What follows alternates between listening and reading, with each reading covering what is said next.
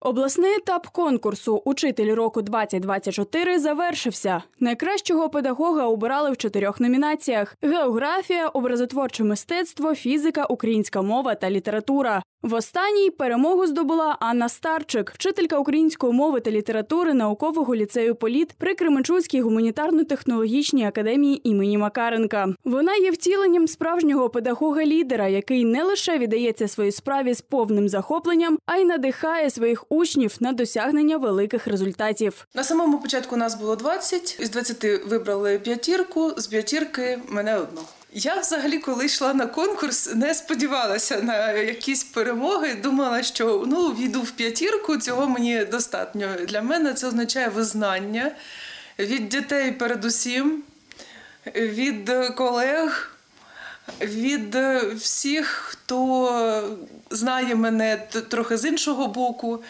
Від людей, які дивуються відверто цьому, ну очевидно, це визнання. Перемога на обласному рівні Кременчуцької педагогині є великим досягненням не лише для неї особисто, а й для всього навчального закладу, який вона представляє, а також для Кременчука. Це підтвердження високої якості освіти та професіоналізму вчителів у нашому регіоні. Як дійти до такої перемоги, для цього треба любити свою роботу, мати велику підтримку і від колег, і від адміністрації, і від дітей. Кожен рік в мене є обов'язково переможці на обласних етапах конкурсів. Діти, які представлятимуть цього року теж наш навчальний заклад на всеукраїнському рівні на олімпіаді з української мови і літератури. Діти, які перемагають на обласних конкурсах читців поезій. Думаю, що це достатньо продуктивна робота. Підтримка це рушійна сила у досягненні успіхів, і Кременчуцька педагогиня може цим похизуватися. Адже і колектив наукового ліцею Політ, і учні вболівали за Анну Старчик. І мої учні мене підтримували. І Що цікаво, мене підтримували і ті учні, з якими я проводила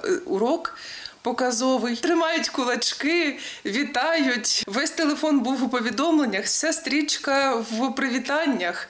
Е, колеги телефонували один з поперед одного.